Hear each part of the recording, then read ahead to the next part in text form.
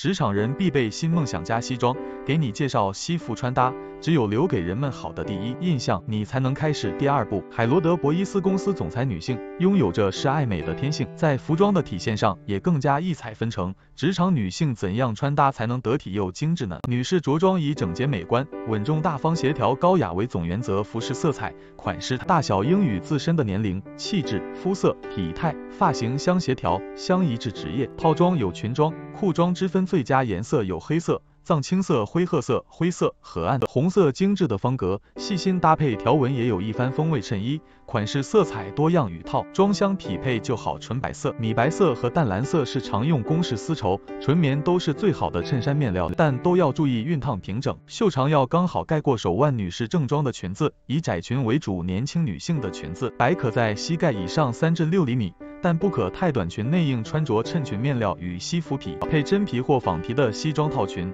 均不宜在正式场合穿着。职场女性的雷厉风行，穿上西服套装，表现更甚。有句话说得好，女人帅起来就没有男人什么事儿了。女性的西裤长及脚踝下一厘米或在小腿的二三长，搭配素色高跟鞋，增添一份女性的飒爽。女士穿裙子应当配长筒袜，紫或连裤袜，颜色以肉色、黑色最为常用。肉色长筒丝袜更常见，尽量不选花哨。的图案会引人过于注意，你的腿部达不到穿搭的整体协调，还应随身携带一双备用丝袜，以防袜子拉丝或跳丝。女性搭配用的鞋子也是种类繁多，皮鞋、单鞋、凉鞋都能展现自我气质，黑色船鞋最为妥当，穿着舒适、美观大方。建议鞋跟高度三至四厘米。但正式场合不宜穿凉鞋，忌带鞋货。其他露脚趾的鞋，平时可是企业的规定和出入场合决定鞋的颜色应当和西服一致或再深一些。衣服从下摆开始到鞋的颜色应保持一致。如果服装简单，那饰品上的小心机包包、耳环、帽子、眼镜、丝巾等就成了出彩的小角色。简洁有光泽的耳环，散发出低调的女性魅力；古灵精怪的贝雷帽，给严肃的西服套装增添一份活泼和复古个性的同时又不过分。The End 简注。内容和图片来源于网络，如有侵权，请联系我们新梦想家西装 U D C Do 而我梦想着打造专属于中国大学生的西装产品和西装服务，给大学生们提供买得起的好西服，同时教会大学生怎么掌握西服穿搭的技巧。